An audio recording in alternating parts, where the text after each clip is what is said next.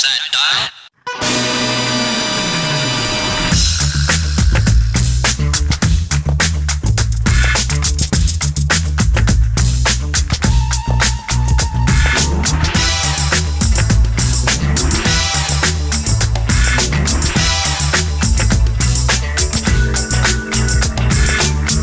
This is J. White, the authentic entrepreneur, coming at you real, raw, and relevant. And this, my friends, is the business breakthrough. Today, we're going to talk about guess what?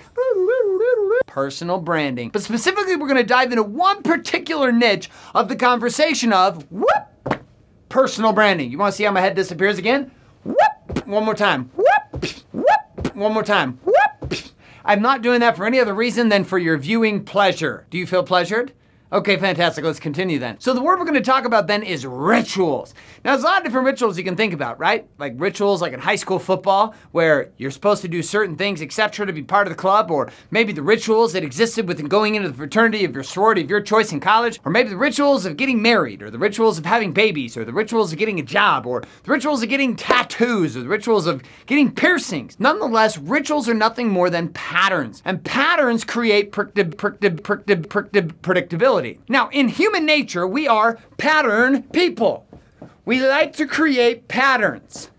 We do the same thing over and over and over and over and over and over and over and over and over again because it makes us feel good. Now, how can this play in your marketing then? Knowing that we're pattern people and that as human beings we constantly are seeking for patterns because patterns create certainty. Because patterns create certainty. And every single human being I've ever met wants to feel certain. They want to feel confident. They want to feel like complete in some measure. Now, our marketing then can tag into this entire idea of patterns. But the patterns I'm going to speak about are the kind of patterns that, well, uh, you might be experiencing here with this show, right? Let's talk about how the show itself plays into a pattern and a ritual and how that deals with your branding. Your personal brand itself must create rituals for people. They have to come to expect certain things happening on certain days at certain times. They have to come to expect certain things happening on certain days at certain times. Right? For example, maybe you wake up and you go get coffee, or maybe you wake up and you go you run. Maybe you wake up, you don't do anything, you blow your nose, you brush your teeth, you go to the bathroom, you eat a bowl of cereal, and three minutes later you're in your car driving to the office,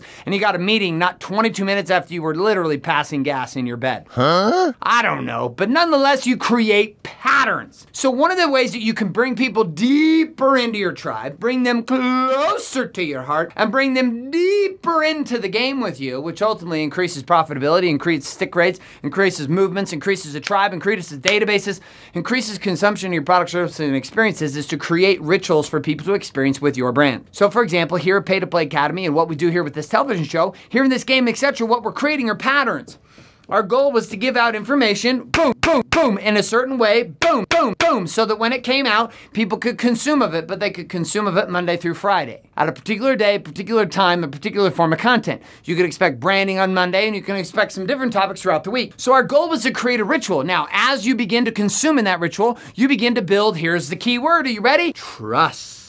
So when you look at your personal brand and you look at how that personal brand ties into your business and you look at the kind of rituals that you're either A, creating or not creating. For example, something simple on Facebook. You could start posting a particular question on a particular day every single week. Maybe that question is Monday through Sunday, maybe that question is Monday, maybe it's Tuesday, maybe it's Wednesday, Thursday, Friday, Saturday, who knows. You pick a particular day and a particular time and you start posting questions and you start seeking for answers to those questions. Pe- pe- pe- People then begin to start to expect this. Or maybe it's a video that you put out on YouTube every single week. But something in your brand that allows people to expect something of you in a new ritual. The more you engage people in rituals, the more they engage them as patterns. The more you engage patterns, the more you engage predictability. The more you engage predictability, the more you create profitable based students, consumers, and customers of your product, services, and experiences. The more you engage predictability, the more you create profitable based students, consumers, and customers of your product, services, and experiences. So dive into your business, dive into your personal brand, and figure out what kind of rituals could you create that would allow for, well,